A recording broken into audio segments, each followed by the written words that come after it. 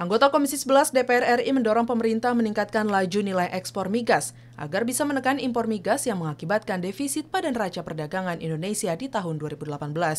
Ditemui di Gedung Nusantara 1 DPR RI Jakarta beberapa waktu lalu, anggota Komisi 11 DPR RI Eki Awal meminta pemerintah lebih kreatif dan inovatif untuk meningkatkan laju ekspor pada sektor migas.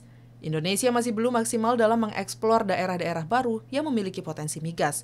Keterbatasan Indonesia mengelola migas mengharuskan adanya impor untuk memenuhi kebutuhan. Di sisi lain, penggunaan migas di Indonesia dinilai tidak efisien, sehingga perlu pengembangan terhadap alternatif pengganti migas. Dan defisit migasnya itu luar biasa.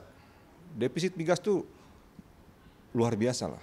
Jadi artinya kita sudah tidak efisien terkait dengan uh, manajemen energi kita. Ya.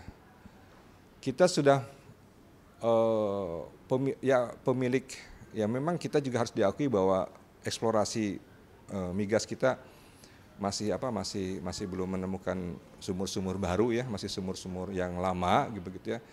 Anggota Komisi 11 DPR RI Joni G. Plate mengakui defisit neraca perdagangan di tahun 2018 semakin memburuk karena terlalu banyaknya impor migas oleh pemerintah untuk memenuhi besarnya kebutuhan masyarakat. Meski begitu, ada faktor lain yang turut mempengaruhi defisit neraca perdagangan di tahun 2018. Yang pertama pasti kita import migas itu cukup besar ya, di sektor migas cukup besar, BBM dan seterusnya untuk ke, membiayai kebutuhan energi di dalam negeri kita itu besar.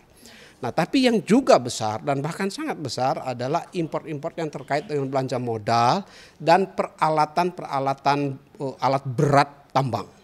Nadia dan Kristio, TVR Parlemen, melaporkan.